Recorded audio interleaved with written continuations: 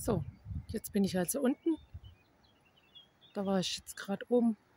Naja, also nicht, beim ersten Pfeiler war ich wahrscheinlich noch nicht mal. Und das geht dann echt noch ein ganzes Stück da nach hinten lang, haben wir ja gesehen oben. Ne? Und so sieht es eben von unten aus. Also man kann es aus von hier aus eigentlich auch nicht so richtig sehen, die Länge. Aber man sieht halt mal wenigstens die Pfeiler. Ja gut, die sind natürlich schon Stein, aber oben ist eben komplett Stahl. Ja. Okay. Da fahre ich jetzt weiter.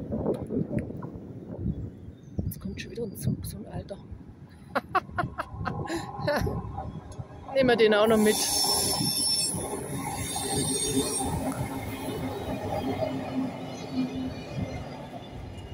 Da muss man auch die Räder reinhängen an so einen Haken. Ich liebe das. Ich sag's euch, das ist ja ein Krampf.